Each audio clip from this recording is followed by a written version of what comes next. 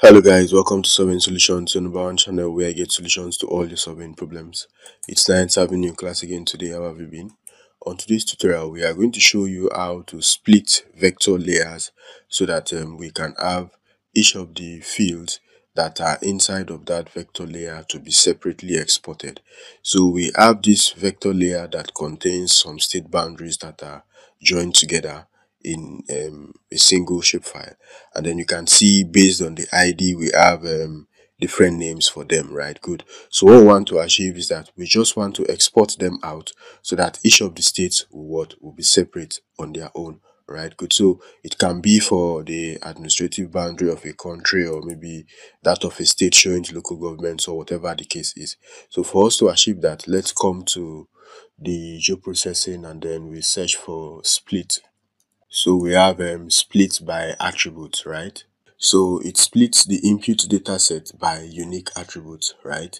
So the unique attributes will definitely be maybe the names of the local governments or the names of the states or the names of those um, unique um, entities that are in that composite um, vector data, right? So the inputs will definitely be the ECS we have here. And then for the target um, workspace, we are going to navigate to the folder where we want to save it. Good. So we are on ArcGIS Pro split folder and then SHP. So let's um, open that up. So we are going to save the exported shapefiles inside of this folder, right? And then now the split field. This um, is the field on which the input will be split into new feature classes or tables, right? Good. So what do we want to use? We actually want to use the names, right? Good. So it gives you an opportunity to have multiple fields selected, right? Good. So let's um, go with only the name and then we just add.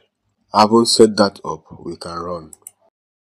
It has been successfully executed, right? Good. Now it did not load it, so let's go to that folder we just created okay this is um ArcGIS Pro this is um split vector and then this is the SHP you can rightly see that these are what the individual um states or the individual attributes that we have inside of what our composite um, attribute table yeah so we believe um, we have shown you how to use what this split by attribute um, tool on um, ArcGIS Pro that helps you split a vector data based on the attribute into different vector data that are inside of the composite data.